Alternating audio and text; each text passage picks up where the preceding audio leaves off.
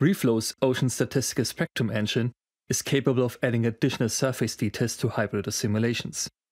The basic process of creating these structures has been introduced in the previous video tutorial, but with one limitation. Everything has been simulated without splashes. In the following lesson, we will create a scene with splashes of different size, ranging from small to big. To achieve this, we have to introduce a source of turbulence. This can be, for example, moving ships and boats, falling rocks, marine animals like jumping sharks or dolphins, or, as in this case, concrete blocks from collapsing pillars. Let's say these pillars are inside an inner harbor and are being blown up to make room for something new.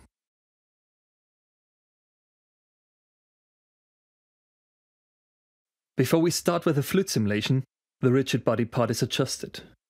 The columns have been modeled in a 3D program, imported to RealFlow, and fractured with a Voronoi by steering geometry tool.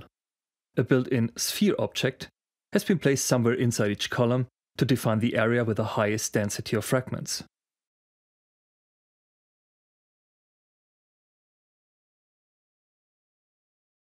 Then, different seeds and object numbers were applied to achieve a random look.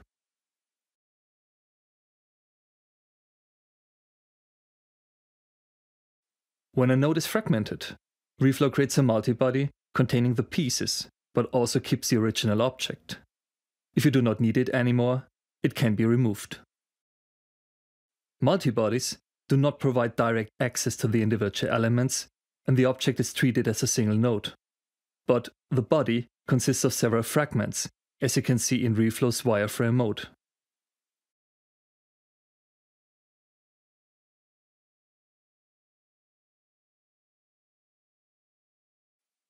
You can also take a look at the physical properties of each node inside the multibody with a Summary Info panel from the File menu.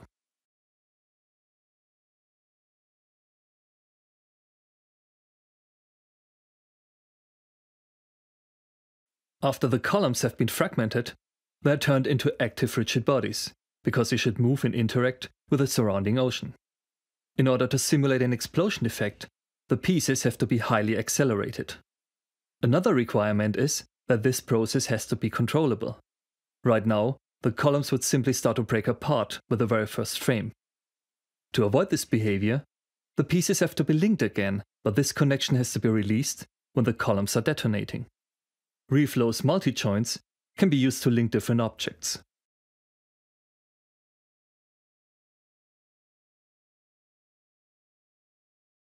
The Force panel gives you the possibility of defining when the pieces should be released. With break if distance exceeded, you have an easy to use method of controlling the breaking process.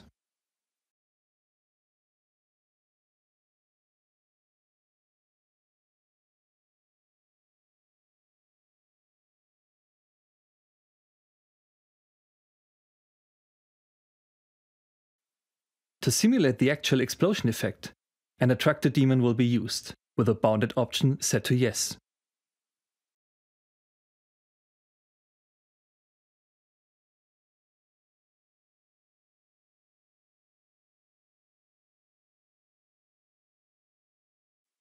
The character of an explosion is that it creates very high forces within a very short period of time, like a strong impulse.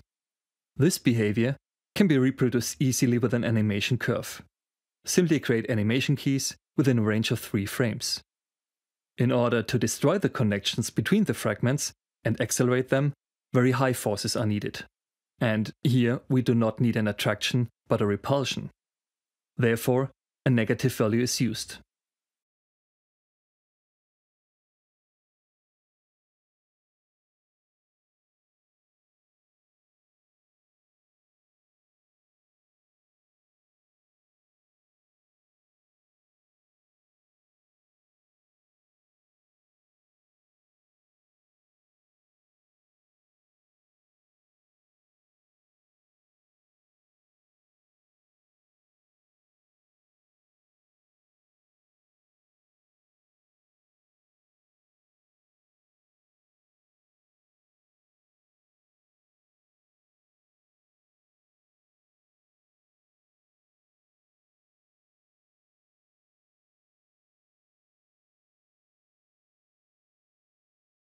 To stop the flying pieces, a passive rigid body container is created around the scene and collision site is set to inside.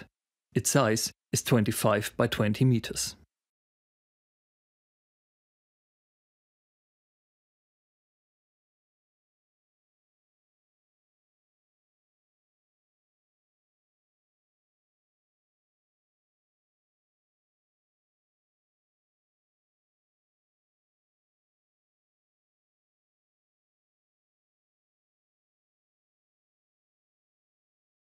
It takes a few test simulations to find the working settings for the multi-body's mass, which is controlled with a density value, the multi-joint's forces, and the daemon's strength. Density is 2500 to prevent the pieces from flying away too far and to create enough interaction with the fluid.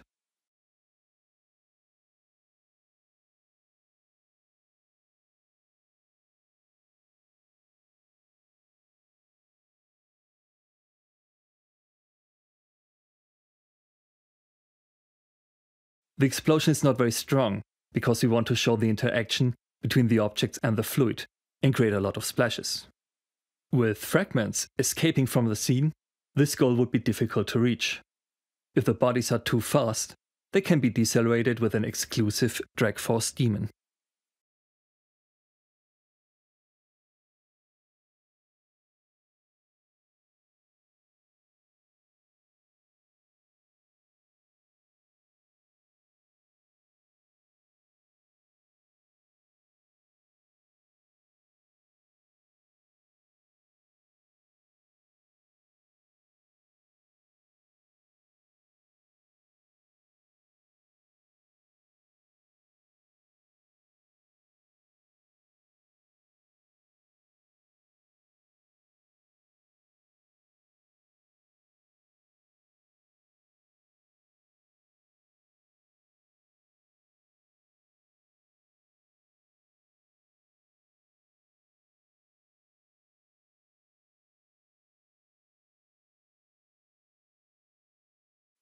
In the next step, the Hybrido elements are configured.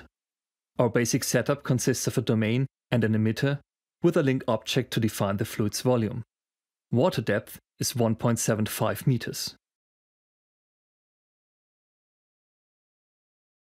The already existing cube top open node is used to enclose a fluid. Global cell size is 0.1 and the domain's creation mode is dense. The interaction between the fluid and the fragments plays a key role here because we want to create a decent amount of turbulence and splashes. This can only be achieved with a sufficient number of particles. The high emitter gives you the possibility of adjusting this number individually for the fluid surface and core. Here, the surface's particle sampling is set to 3 to create a total amount of 27 particles per cell. The thickness of the surface is 0.2. Another important adjustment concerns the column's surface offset parameter.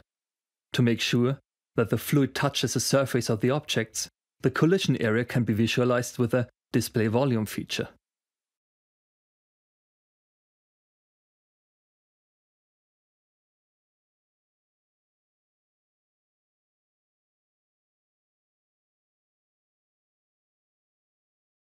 The red band defines a collision area and you can see that the fluid does not touch the object's surface with the current settings. When you simulate now, you will see an offset around the objects. With a negative surface offset, the field can be shrunk. Please bear in mind that this parameter depends on the current cell size. With a cell size of 0.1, only integer multiples of this value will be considered, for example 0.3 or minus 0.2. To get a proper collision, minus 0.1 is used here. With this value, you might see a few particles inside the objects, but you do not have to worry about them. They will not influence the quality of the simulation or the final render.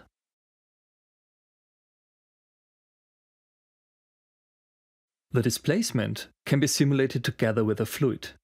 In the video tutorial covering this feature, we have presented a workflow to preview the surface structure using RealWave.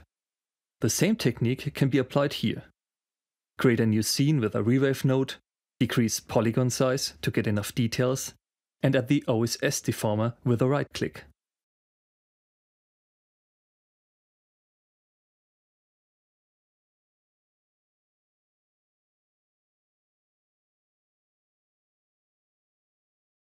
Both wave surface and domain must also share the same dimensions.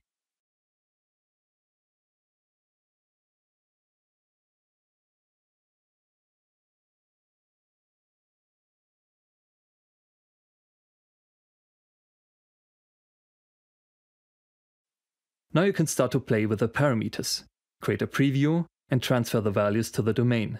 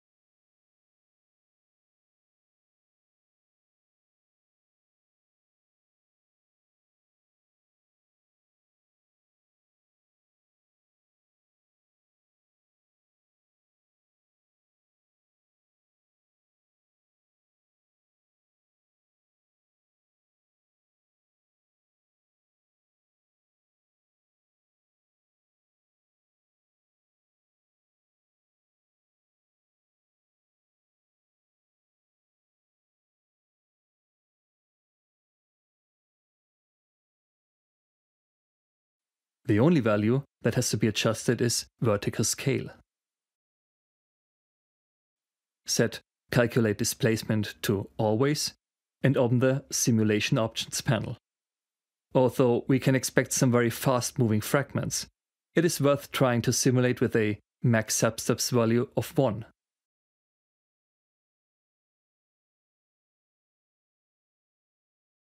To speed up the simulation, activate command line and hit Simulate. If the strength of the splashes is too weak, or if there is not enough turbulence, please increase the multibody's interaction factor. In this scene, the value is 6.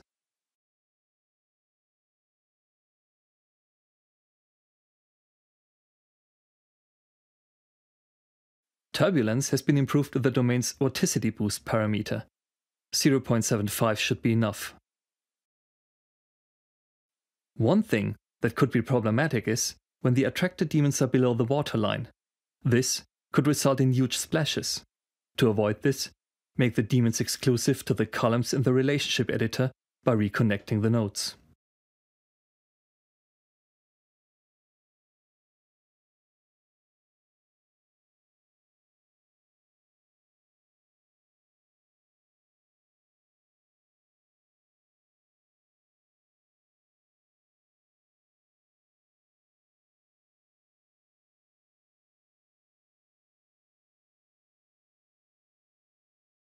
Of course, it requires a few tests to get the desired results with adequate splashes and object velocities, but the final simulation could look like this.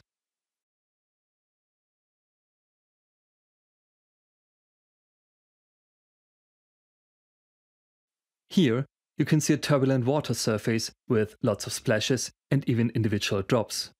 The interaction between fluid and objects is strong enough, and the look matches the setup's dimensions. Now, add a Hybrido mesh node. As you have learned in the previous video tutorial about RealFlow's ocean statistical spectrum, the domain's viewport icon acts like a clipping plane. Everything below and outside the plane will be cut away. This way, the amount of polygons can be drastically reduced, but only when the mesh node's open boundaries option is enabled.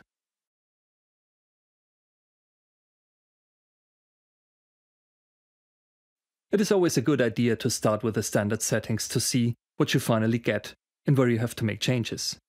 In many cases, the default values create satisfying results. Splash attenuation can be deactivated because it is not relevant in most cases and might add an unwanted noise pattern with high values.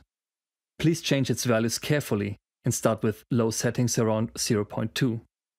This feature removes the displacement pattern in splashy areas.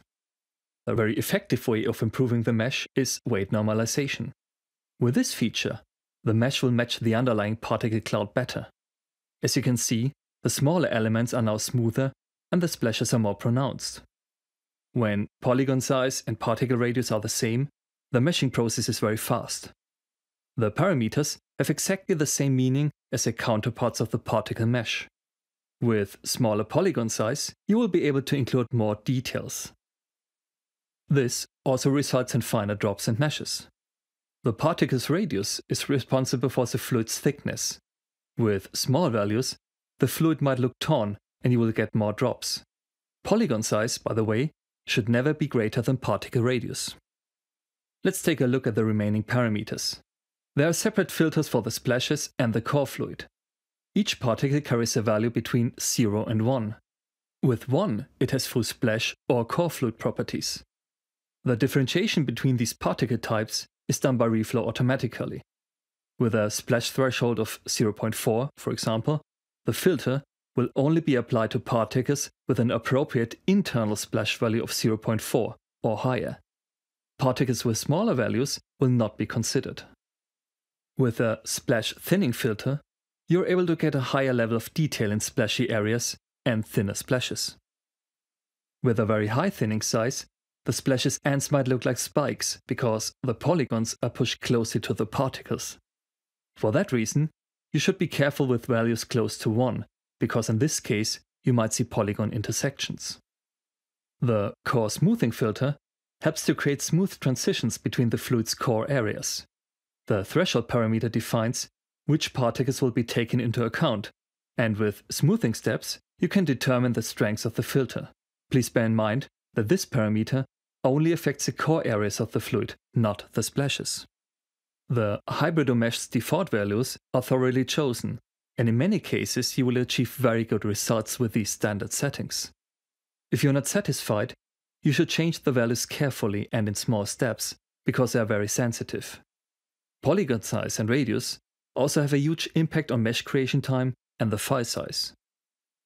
Once you have found working settings, go back to the first frame and build the meshes for the entire simulation. To do this, select the mesh node and click on the Build Meshes button. This part can also be completed via the command line.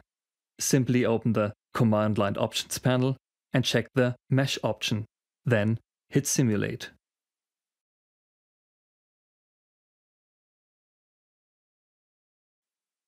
Finally, create a preview with RealFlow's OpenGL or Maxwell option or import the mesh data to your 3D application. The clip shows that the displacement structures have not been applied to the splashes. There is a smooth transition between the surface waves and the thinner parts of the mesh. To create more details and finer structures, the number of particles has to be increased. The final quality of the mesh depends on exactly this number.